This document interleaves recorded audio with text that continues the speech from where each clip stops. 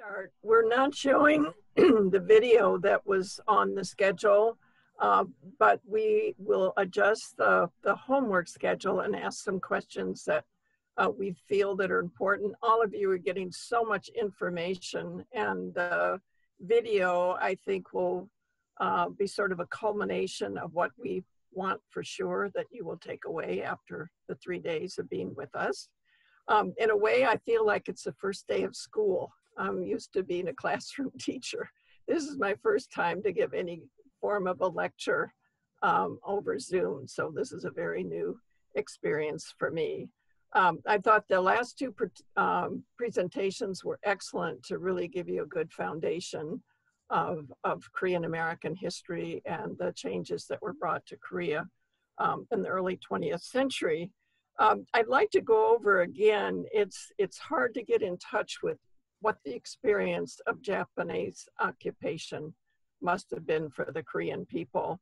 Um, Americans are so used to so many freedoms, and the, some people are just struggling wearing masks during a pandemic. They don't want their freedom taken away. And when you think of what was taken away from the Koreans for 35 years, um, they had no government. It was a Japanese government. Uh, they were to learn the Japanese language. Um, they could not speak Korean. Uh, Lucy Park's uh, father grew up during Japanese occupation, and of course he learned Japanese. And Lucy told me a very touching story. At the end of life, he developed Alzheimer's. He couldn't remember Korean, but he could remember his Japanese. And Lucy had never taken Japanese, so she could, could not communicate with her father. So the residual effects of this have gone on and on over the years. Um, they had to take Japanese names, and Koreans historically have been very proud of their names. It's a good part of who they are. Uh, they no longer had their own history. The Japanese wrote what they thought was a Japanese history or Korean history. Uh, their culture was taken away. Uh, their music, they couldn't play their traditional instruments. They couldn't wear their traditional dress. Uh, they couldn't do their traditional dances. Um, in terms of their religion, they were to bow to Shinto shrines and faced uh, Japan. Uh, there was a terrible story about um, Koreans praying in their church and the Japanese locked their doors and they set the church on fire. Um, You've heard about the comfort women, and I will talk more about that in, in Dokdo, but the country was literally taken over. They were trying to rid the Koreans of their heritage and their culture. And this also divided the Korean people. There were those who worked with the Japanese. They had to provide for their families, and the Japanese did develop a certain degree of industrialization, but the advantages are all taken um, by Japan, but this divided the country because there were those people that collaborated uh, with the Japanese, and that caused understandable contention, um, tension with the Korean people. Um, we have not yet talked about Dokdo. Um, Dokdo is um, something that I think is very important to talk about. Dokdo are two little islands, there they are. Uh, Sung show them um, that those are the Dokdo Islands, and they historically have been belonged to Korea. There's records way back to the sixth century and the Shilla period uh, that claim these islands. During Japanese occupation, Japan took over the islands. And the islands themselves, as you can see, are basically rocky. I think there's only three or four people that might actually live there. It's a fishing area. Um, Japan has always wanted to call this this sea between Japan and Korea the Sea of Japan, and understandably the Koreans prefer the name East Sea. But it's an important fishing area, but it's been a source of tension uh, repeatedly, um, especially after uh, the Japanese occupation of Japan. And um, any number of times uh, Japanese leaders have stated that the Dokdo really belongs uh, to uh, Japan.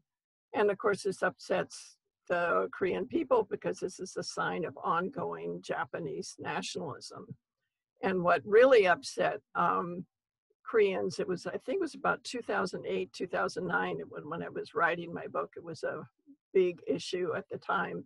And the um, Minister of Education designed some teaching books for teachers so that all the children of Japan would learn that Dokdo belonged to Japan.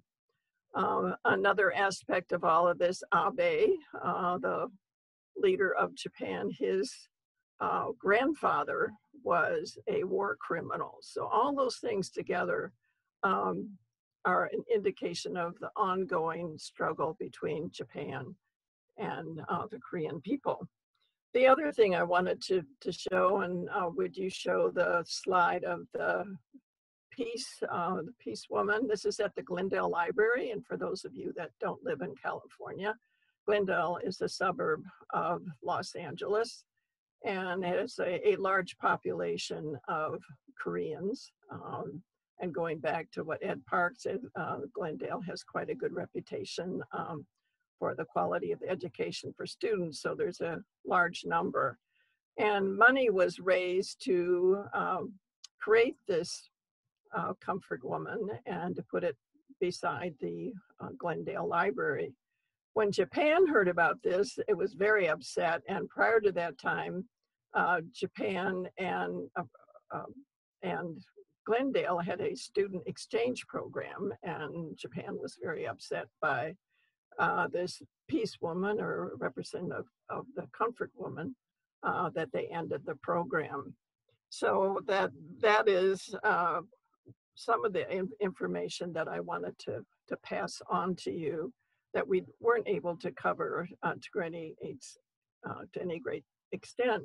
And I think today, as Americans was, are struggling with the, all the developments and we're living with our past history and, and the issues related it, I'm, I'm hoping that you can think in the context of the United States um, that we're struggling and we should be very proud of how the Koreans overcame all their challenge challenges and got independence. And uh, one other thing I think I would want to mention is the Korean War that um, after liberation from Japan, they were, you know, thrilled. The, um, they the, the Japanese were defeated in the war, but then the country was divided. And then they had five years of tension between the North and the South, and then the uh, Korean War erupted. So it was 50 years of struggle, and the United States is really struggling and just for months, and it's it's taken its toll on all of us. And uh, I have infinite respect for the Korean people and what they've achieved over time. And I can think of one other thing um, that was mentioned yesterday, and I, I, wanted to speak up, but you were talking about how well the Korean people have adjusted to dealing with uh, uh, COVID-19 and wearing masks. And the United States, so many people say, I don't want to wear a mask, it's interfering with my freedom. But Confucianism, uh, Korea has been the most Confucian of all um, nations in the world. And Confucianism emphasizes education, education, education. It's everything.